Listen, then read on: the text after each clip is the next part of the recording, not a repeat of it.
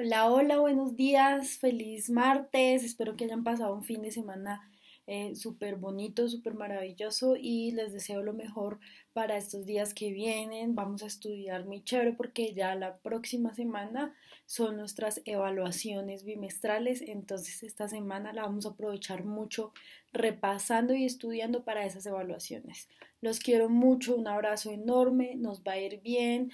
No olviden por favor marcar bien sus eh, trabajos, los archivos que envíen y también por favor marcar el asunto del correo. Recuerden que deben poner ahí eh, el nombre de la asignatura, el curso y el nombre de ustedes, estudiantes. Entonces, un abrazo grande y seguimos trabajando.